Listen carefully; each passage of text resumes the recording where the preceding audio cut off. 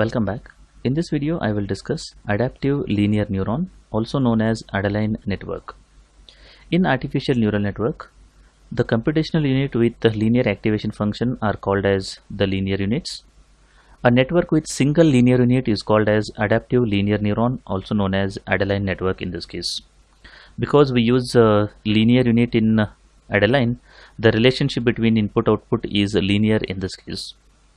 Adaline uses uh, bipolar activation function for its uh, input signal and for its output signals over here.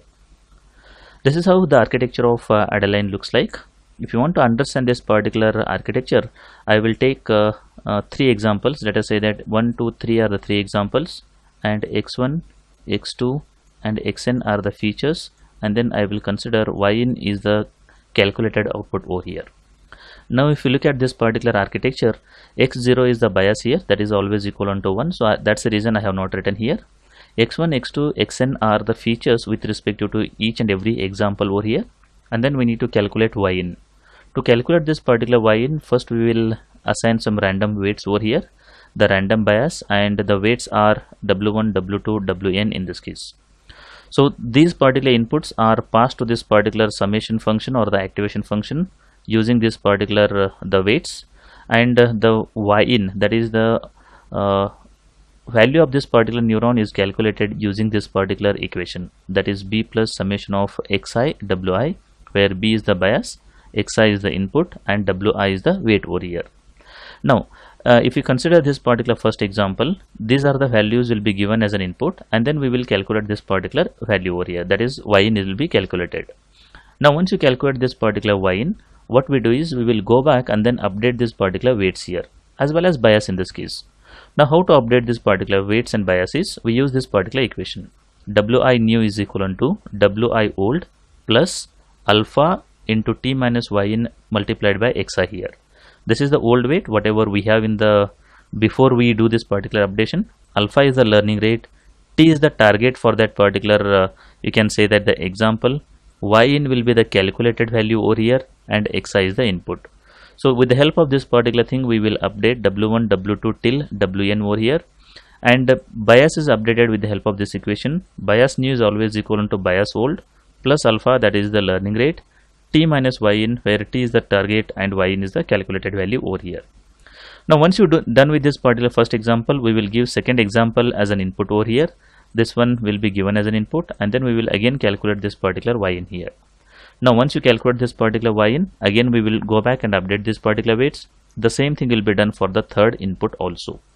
Now once you complete this particular third input the meaning of this one is we have completed one what you can say that the epoch here.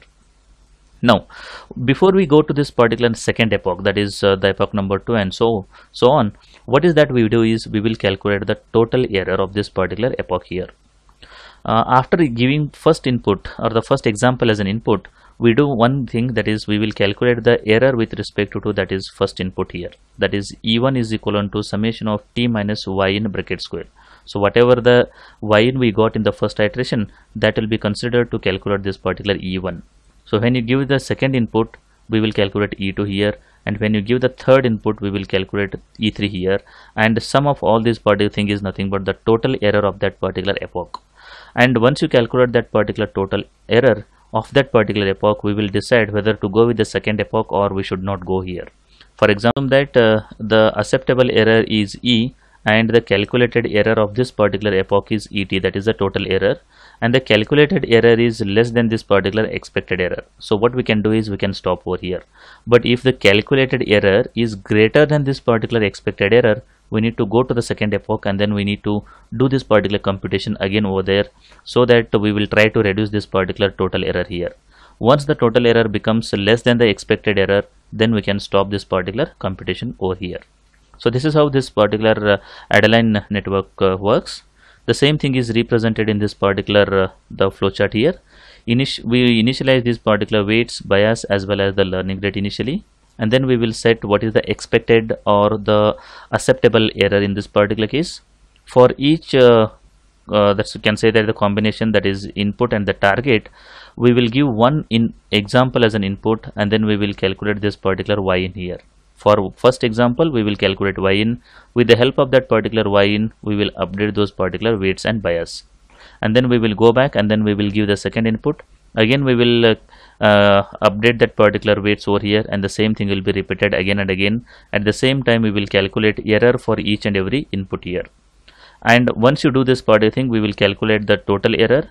Total error we will compare against the acceptable error. If it is acceptable we will stop here. Otherwise we will go back and then we will do the same thing again and again. That is called as we will repeat the same epoch again over here.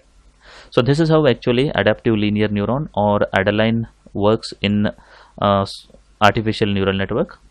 I hope video I have discussed what is Adaline neural network, what is the architecture of Adaline neural network and what is the working principle of Adaline neural network. In the next video I will discuss uh, a numerical example to understand this particular Adaline neural network in detail. I hope the concept is clear. If you like the video, do like and share with your friends. Press the subscribe button for more videos. Press the bell icon for regular updates. Thank you for watching.